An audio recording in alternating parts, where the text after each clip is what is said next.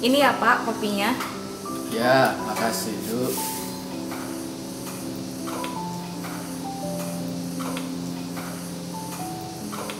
Vita kangen ibu.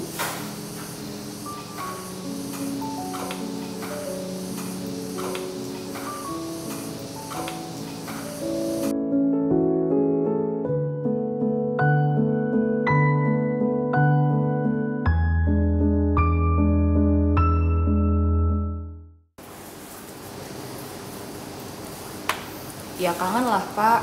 Coba kalau masih ada ibu, kita bisa ngabisin waktu di rumah aja sama ibu.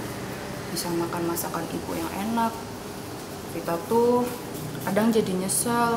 Kenapa Ramadan tahun lalu nggak banyak ngabisin waktu di rumah?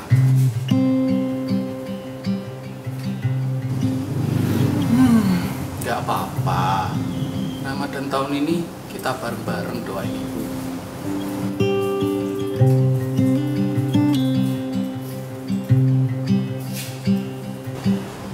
Tapi iya ya, setelah bapak pikir-pikir, tahun-tahun sebelumnya kamu itu emang seringnya bukber. Berangkat dari asar, pulang-pulang udah malam.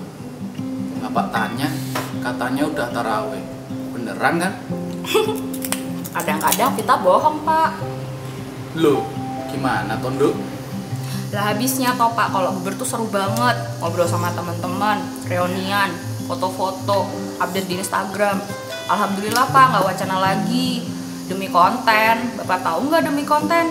Ya Allah, Nduk. Ibadah kok dikalahin sama konten. Lagian nggak selalu kok Pak. Ada bukbernya yang bareng sama taraweh. Kadang-kadang sih, tapi Wah, iki. Iki. Salah satu sisi positifnya di rumah aja buat Bapak.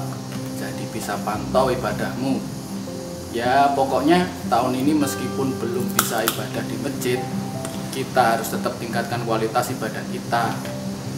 Kita bisa sholat lima waktu sama taraweh berjamaah. Bisa tadarusan bareng juga di rumah. Kalau kamu ketiduran, langsung Bapak guyur. Astagfirullah Pak. Iya iya siap.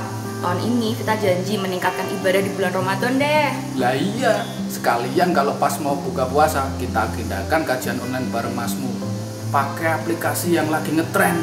Itu loh, Zoom. Mantep ya Bapak, udah kayak anak muda.